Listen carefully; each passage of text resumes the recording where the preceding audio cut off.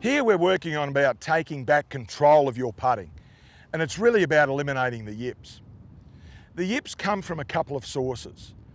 The first one being, most people that have the yips are so involved in the outcome, it raises their anxiety level. Now, to help you get rid of that, I've got a couple of tips. The first thing I'm going to say is, we want to make sure that you get involved in this end.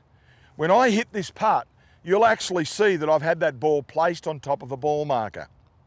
Now the idea of that being, I want to hit this putt and I want to see the marker before I ever look up. Too many players that hit poor short putts do it because as they're hitting the putt, they're actually moving forward because they want to see where that out ball's going. That look at the outcome's a real problem. The other part of having the yips is about having too much involvement with the small muscles, making your hands do too much.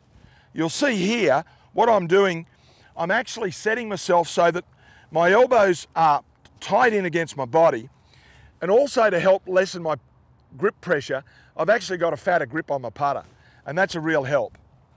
So in this case, I'm taking my setup, I've got my elbows in by my side, my arms aren't moving, it's actually the big muscles of the chest that are moving.